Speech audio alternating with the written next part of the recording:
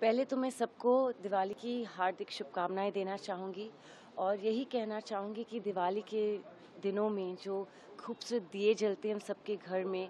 उस दिए की रोशनी पूरे साल रहे, खुशियाँ पूरे साल रहे हम सबके घर में। और good health prosperity love success happiness peace in everybody's homes well Diwali में बहुत से लोगों को जलाया है, फटाके फोड़ फोड़ के अपने आप बहुत इंजर किया है।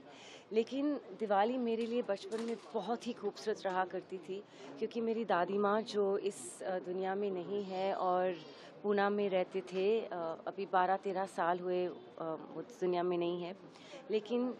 एक रूल होता था कि दिवाली हम या तो पूना में उनके साथ बिताएँगे या वो हमारे यहाँ बॉम्बे में या हम सब फैमिली महाबलेश्वर जाएँगे दिवाली मनाने। और पता है ना, दादी माँ और हमारे ग्रैंड पेरेंट्स हमको इतना स्पॉइल करते। तो हम हम, हमेशा अपने पॉकेट मनी को जमा करते थे ताकि हम दादी माँ के साथ जाके फटाके खरीदें। तो हर साल दादी माँ ऑफकोर्स एक्स्ट्रा पैसा डाल के ज़्यादा फटाके खरीदते हमारे लिए। लेकिन एक साल, शायद जब मैं 10-11 साल की थी तो सुबह हम तैयार हुए, नहा धो के रेडी हुए और दादी माँ ने बोला, चलो, अब जा रहे हैं अभी फटाके ख़रीदने के लिए। और मैंने एक लिफाफा बनाया था, उसमें पूरा पॉकेट मनी डाल दिया और मैं दादी माँ के पास गई और मैंने कहा कि इस साल से दादी माँ, अभी मैं ये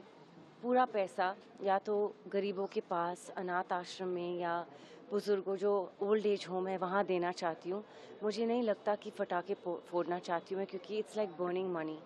and वो इतने गर्व से, इतने खुश हुए और उन्होंने गर्व से कहा कि, बेटा this is the most correct thing you have done और उस साल से लेके हर साल,